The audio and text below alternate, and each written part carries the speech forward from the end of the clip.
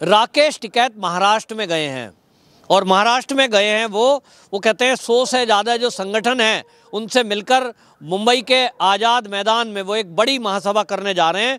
संयुक्त सेतकारी कामगार मोर्चा, इसके तत्वाधान में वो वहाँ किसानों की भी आवाज़ उठाएँगे, मजदूरों की भी आवाज़ उठाएँगे। लेकिन सवाल ये है कि महाराष्ट्र के अंदर जो किसानों की दुर्दशा है, जो कपास के किसान हैं, जो प्याज के किसान हैं क्या उनकी दुर्दशा के लिए वो महाराष्ट्र सरकार को घेरेंगे?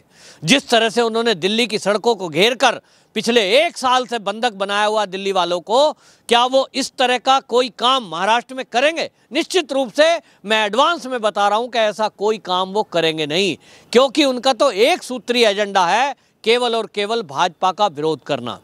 मोदी सरकार को ब्लैकमेल करना।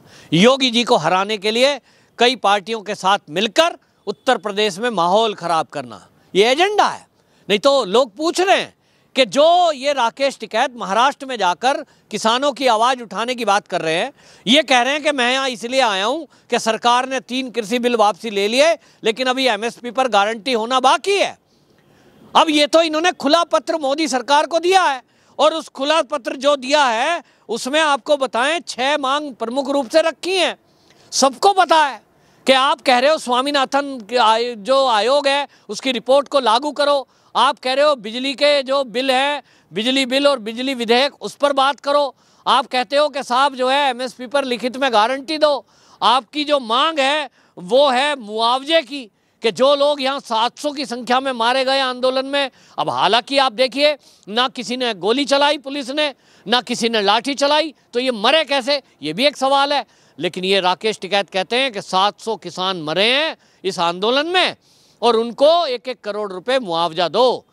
ये केजरीवाल के एक संजय सिंह तो एक और कदम बढ़ गए, वो कहते हैं सरकारी नौकरी दो एक एक परिवार में। तो ये जो राकेश टिकैत मांग रहे हैं, इनसे सवाल ये है कि ये जो 700 लोग हैं मरे कैसे हैं? किसने मार दिए? क्या जब सरकार ने गोली नहीं चलाई, किसी ने लाठी नहीं चलाई, सरकार ने बल प्रयोग किया नहीं तो ये मरने वालों की मौत के पीछे रहस्य कौन है? किसने मारे? ये एक सवाल है। तो ये कहते हैं, प्रदूषण का कानून वापस लो, कि जो पराली जलेगी, उसे किसान जलाएँ, और हमें रोकने का कोई अधिकार ना हो। राकेश टिकैत जी, आपको तो जानकारी है, आपने टीवी डिबेट में एक में बोला है कि ये एनजीटी का आदेश है। तो एनजीटी का आदेश है, एनजीटी तो एक स्वतंत्र, एक संगठन है। केंद्र सरकार जिसके अधीन में जैसे कि सुप्रीम कोर्ट एक आज़ाद बॉडी है, इसी तरह से एनजीटी एक आज़ाद बॉडी है। उसमें सरकार की चलती नहीं है।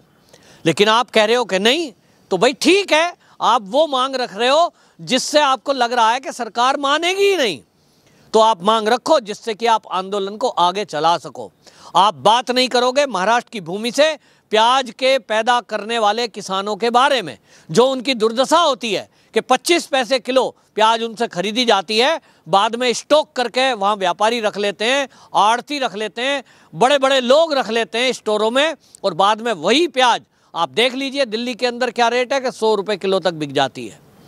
क्या आप उस पर बात करेंगे महाराष्ट्र में कि वो जो स्टॉक करने वाली नीति है, उसको ख़त्म किया जाए, उसका फ़ायदा प्याज के किसानों को दिया जाए? क्या आप कपास पर बात करेंगे? बिल्कुल नहीं करेंगे। आप वहाँ जाकर महाराष्ट्र की भूमि में, महाराष्ट्र के मुद्दे नहीं उठा रहे हैं। वहाँ जो आत्महत्या किसानों ने करी है, उसके बारे में आप मुआवजे की बात उद्धव ठाकरे सरकार से नहीं करेंगे। आप वहाँ जाकर महाराष्ट्र में भी ये बात कर रहे हैं कि सरकार हमारी मांग पूरी नहीं कर रही है। केंद्र को घेरने आप महाराष्ट्र गए हो। अरे, दिल्ली के बॉर्डर पे बैठे हो और दिल्ली में जहाँ बैठे हो, आपको मीडिया कवरेज मिलता है। आपकी बात तो एक एक पल की एक एक क्षण की एक एक बात आपकी सरकार तक पहुँच रही है। और सरकार जिससे आप कह रहे हो कि सरकार ने तुम्हें बात करने के लिए नहीं बुलाया एमएसपी पर गारंटी बनाए, उसके लिए बैठ के समिति बनाए, बात करे, अरे, सरकार ने तो बार बार बुलाया। बार बार केंद्रीय मंत्री ने बिठाया आपको। कितनी बार, सैकड़ों बार देश के कृषि मंत्री नरेंद्र तोमर ने कहा कि वार्ता के लिए हम तैयार हैं। तीन कृषि बिल को छोड़कर बाकी बात आप करिए। लेकिन आप तो अड़े रहे। नहीं जी, तीन कृषि बिल वापसी के बिना हमारी कोई बात नहीं है। बिल वापसी हो गए तो अब नई मांग ले आए। एमएसपी पे गारंटी दो। तो गारंटी दो। तो क्या गारंटी दें टमाटर पैदा करने वाले पे भी, प्याज पैदा करने वाले पे भी? दूध उत्पादन करने वाले भी तो किसान हैं। तो अगर दूध पर गारंटी मांगेंगे तो वो कह रहे हैं, सौ रुपए लीटर दूध लो हमारा, गारंटी दे सरकार। तो यदि सरकार सौ रुपये किलो की लीटर की गारंटी एक, जो दूध को उत्पाद करने वाला किसान है, उसको अगर देंगे तो राकेश टिकैत जी, मुझे बताओ कि मेरे जैसे आदमी को वो कितने रुपए किलो मिलेगा? डेढ़ सौ रुपये किलो। आज की डेट में जो डेयरी संचालक हैं, वो जब दूध लेते हैं ना किसान से आधी रेट में लेते हैं, आधा अपना जोड़ते हैं, ट्रांसपोर्ट, खर्चा, सारा, पैकिंग, तब जाके वो आज की डेट में साठ रुपये लीटर मिल रहा है। तो जब सौ रुपये किलो जाएगा तो दो सौ रुपये किलो मुझे मिलेगा। आप चाहते हैं कि देश में दूध का दो सौ रुपये लीटर का रेट हो जाए, आप चाहते हैं कि टमाटर का रेट दो सौ रुपये किलो हो जाए, आप चाहते हैं कि प्याज सौ रुपये किलो हो जाए और डेढ़ सौ रुपये किलो हो जाए, क्योंकि अगर गारंटी दी जाए तो उनको क्यों ना दी जाए जो प्याज पैदा करते हैं? वो भी तो किसान हैं। उनको क्यों ना दी जाए जो सब्ज़ी पैदा करते हैं? भाई, अपना रेट खुद तय करें वो भी। आप कह रहे हो गेहूँ पर एमएसपी की सरकार गारंटी दे, धान पर गारंटी दे, जबकि आपको बताएँ 80 परसेंट किसान तो ये धान और चावल वाले पंजाब और हरियाणा में है। लाभ मिल रहा है केवल आठ परसेंट को। ओनली आठ परसेंट गरीब किसान है जिनको एमएसपी पर गारंटी अगर मिली, उसका लाभ मिलेगा। बाकी बानवे परसेंट लाभ किसको मिलेगा? मोटे मोटे लोगों को, जिसकी आप पैरवी कर रहे हो, जिसके लिए आप दिल्ली के बॉर्डर पर धरना बैठ रहे हो, कर रहे हो। तो राकेश टिकैत जी, आप महाराष्ट्र गए हैं, महाराष्ट्र के किसानों की समस्या और वहाँ जो कामगार मजदूर हैं, उनकी समस्या, क्योंकि आप जिस बैनर के तले वहाँ आंदोलन करने गए हैं, उसका नाम है संयुक्त शेतकारी कामगार मोर्चा। उसके तहत आप वहाँ कामगार मजदूर जो हैं, उनकी समस्या जानिए। किस तरह से उनको वहाँ से भगा दिया जाता है, जब कोई महामारी आ जाती है। पैदल कोई ट्रांसपोर्ट नहीं, कोई रेल की परमिशन नहीं।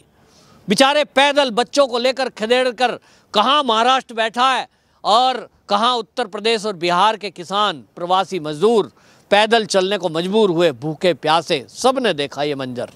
आप बात करेंगे कि इस तरह से देश का प्रवासी मजदूर जो आपके यहाँ काम करने के लिए आया, आपने उनको मरने के लिए क्यों छोड़ दिया था? राकेश टिकैत जी, आप जरा महाराष्ट्र गए तो बात करें, लेकिन ना आप वो बात करेंगे जो आपको राजनीतिक रूप से सूट करती है। आप केवल एमएसपी पर केंद्र सरकार के बारे में बात करेंगे, क्योंकि आपको लगता है कि इस मुद्दे पर आप केंद्र सरकार को ब्लैकमेल कर ले जाएँगे। लेकिन आपको बता दूँ, मेरे सूत्र बता रहे हैं कि केंद्र सरकार आपको नेता बनने का कोई मौका देगी नहीं। आप सोच रहे हो कि आप यहाँ हीरो बन जाओ और उसके बाद जनता की सहानुभूति लो, देश के किसानों की सहानुभूति लो और खालिस्तानी एजेंडे को चलाओ और देश वाले आपको सहन कर लेंगे। नहीं साहब, ये मोदी है केंद्र में, ये अमित शाह है, ये ब्लैकमेलिंग में नहीं आता। आप प्यार की भाषा से बात करते, प्यार से बात करते और बैठते तो आपको आदर दिया गया था। लेकिन अब खुलकर आया है कि आप किसानों के चोले में केवल राजनीतिक एजेंडा चला रहे थे मोदी जी को हराने के लिए 2024 में और 2022 में योगी जी को हराने के लिए। आपका एजेंडा उजागर हो गया और इसलिए अब आपसे सरकार कोई बात करेगी नहीं। कम से कम ब्लैकमेल होने की नीयत से तो कोई बात नहीं करेगी।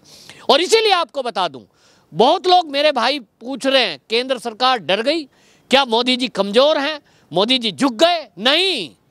मोदी जी इन खालिस्तानी समर्थकों को शून्य करने में लगे हैं। याद करिए सीए के विरोध के टाइम का। सीए के विरोध को अगर लंबा ना चलने दिया गया होता शाहीन बागों को तो आज जो सीए के विरोध के नाम पर देश को काटने की बात कर रहे थे, आज जेल की सलाखों के पीछे ना होते, क्योंकि उनका सबूत नहीं था। आज इसी तरह खालिस्तानी समर्थक ये चोगा पहने हुए बैठे हैं किसान नेताओं को, इनको एक्सपोज करने का काम मोदी जी ने किया है। और इसीलिए मोदी जी ने तय किया कि इनको नेता नहीं बनने देंगे। ये जो हीरो बन रहे हैं ना किसानों के नेता के नाम पर, ये जो ब्लैकमेलिंग कर रहे हैं सरकार को, ये जो खालिस्तानी एजेंडे को चला रहे हैं, इनको ज़ीरो कर दिया जाएगा। और इसीलिए मोदी जी ने कहा, ठीक है, जो मांग मानने लायक है, सब मान लो। फिर देखते हैं ये हटते हैं कि नहीं हटते। तो तीन कृषि बिल वापसी ले लिए, पराली जलाने का, प्रदूषण का मना कर दिया, केंद्र, केंद्रीय मंत्री ने। फिर ये धरना प्रदर्शन और क्यों बात कर रहे हैं पत्रकारों से? और जहाँ तक मेरे सूत्र बता रहे हैं एमएसपी पर भी कमेटी के गठन, ये केंद्र सरकार की तरफ़ से 29 तारीख को संसद के पटल पर ये सदन में हो जाएगा।